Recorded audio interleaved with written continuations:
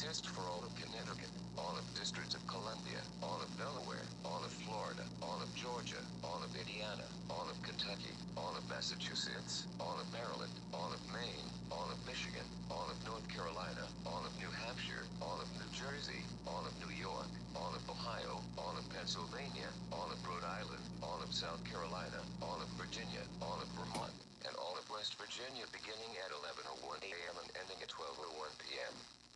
Test message pause open cap feed configuration test message.